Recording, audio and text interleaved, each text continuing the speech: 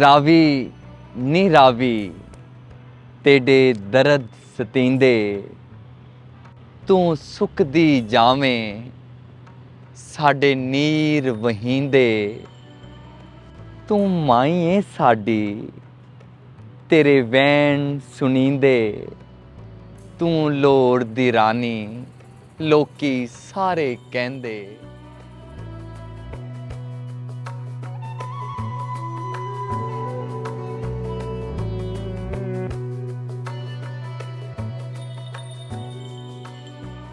اس وقت میں جس مقام پہ کھڑی ہوں، یہاں پر دو دہائی پہلے پانی ہوا کرتا تھا۔ لیکن اب صورتحال یہ ہے کہ میرے ارد گرد سارا بیرل لینڈ ہے۔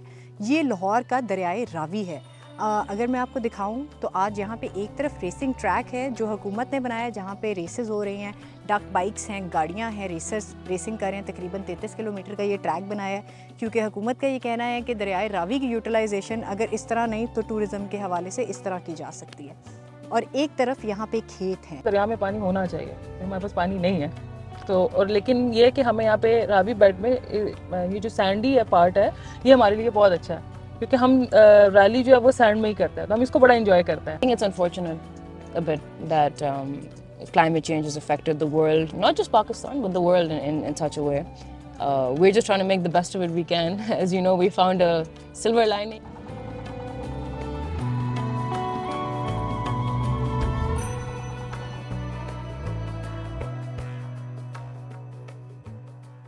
ਸਾਡਾ ਜਿਹੜਾ ਇਲਾਕਾ ਸੀ ਨਾ ਇਹ ਸਾਰੇ ਇਲਾਕੇ ਦੇ ਵਿੱਚ ਪਾਣੀ ਪਾਣੀ ਸੀ। ਪਾਣੀ ਘਟਰੇ ਦਾ ਨੁਕਸਾਨ ਇਹ ਕਿ ਜਿਹੜੀਆਂ ਪੈਲੀਆਂ ਜਦੋਂ ਸਾਲ ਬਾਅਦ ਛਾਲ ਆਉਂਦੀ ਸੀ ਨਾ ਬਾਹਰ, ਪੈਲੀਆਂ ਜਿਹੜੀਆਂ ਸਨ ਉਹ ਫਸਲ ਮਗਰੋਂ ਫਸਲ ਬੀਜਦੇ ਸਨ ਫਸਲ ਬੜਾ ਅੱਛਾ ਹੁੰਦਾ ਸੀ।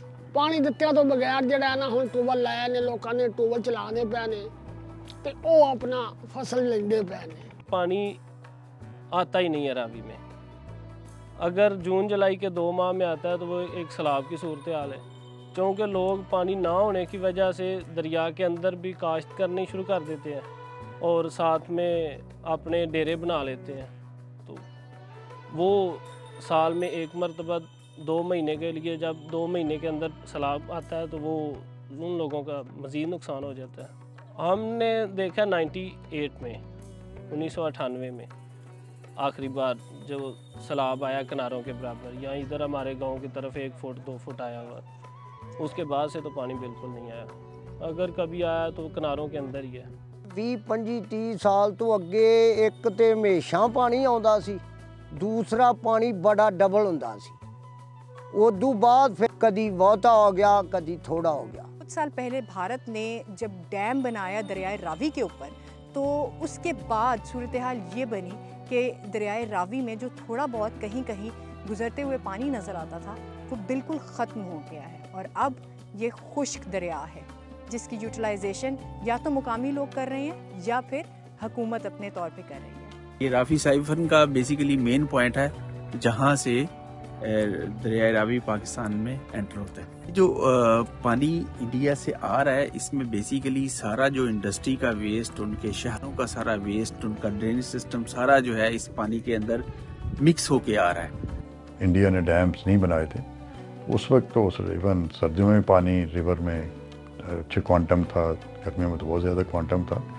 تو اب انہوں نے دوسرا جب ڈیم بنایا، اس سے تو بالکل ہی وہ زیرو فلو ہو گیا اس کا۔ ٹھیک ہے، جو ہمارا ان کے ساتھ معاہدہ ہوا، اس میں ان کا رائٹ اسٹیبلش ہوا۔ حالانکہ زیرو ہمیں اس معاہدے میں بھی نہیں کرنا چاہیے تھا کہ ریور زیرو ہو۔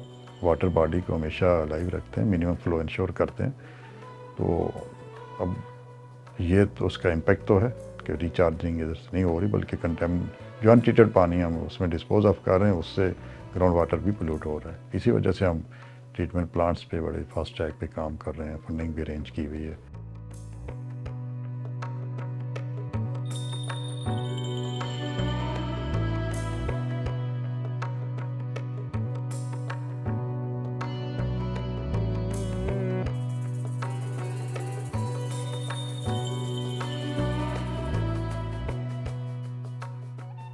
ایک ملانے والی ملاب کروانے والی ندی دریا جو ہے وہ بنانا چاہیے تھا۔ اور ہم نے اسی دریا کو جو ہے وہ قتل کیا ہے۔ اور ہم اس کو جو جو اس میں کچھ کچھ سانس باقی ہیں ہم اس کے در پہ بھی ہیں۔ ہمارے جو یہاں پہ آ, سارا ریئل اسٹیٹ ہے جو آ, جو ڈیولپمنٹل سیکٹرز ہیں وہ اب راوی کو گدوں کی طرح جو ہے وہ دیکھ رہے ہیں کہ کب یہ دریا سوکھے، کب ہم اس کی زمین پر اپنے ڈرل میٹر پروجیکٹس بنائیں، اپنی سوسائٹیز بنائیں۔ سو اس وقت بس مر رہی ہے ہماری راوی ہے۔ جو ہمارا مین مقصد ہے وہ ریور کی ریجوبینیشن ہے کہ آپ لوگوں کی جو تھاٹس ہیں اس کو تو آپ کنٹرول نہیں کر سکتے سینگ از بلیونگ اچھا جہاں تک بات یہ ہے کہ جی لینڈ کے ایشو ہوئے تھے، جب یہ شروع میں روڈا بنا تو بہت دفعہ یہ کلیریفائی کیا گیا ہے، لیکن کیونکہ ایک پرسیپشن بلٹ ہو جاتی ہے اور وہ یہی لگتا ہے لوگوں لوگ پہلے تو یہ سمجھتے ہیں کہ یہ کسی ڈیولپر کا شاید کوئی کوئی کانسیپٹ ہے جو کوئی چیز ڈیولپ کی جا رہی ہے۔ It is not a developing society کوئی ہاؤسنگ سوسائٹی نہیں ہے۔ اٹس اے سٹی کمپلیٹ شہر جو اپنے پورے پیرافرنیلیا کے ساتھ، اپنے پورے اربن ویئر ودال کے ساتھ جو ہے وہ اپیئر ہوگا۔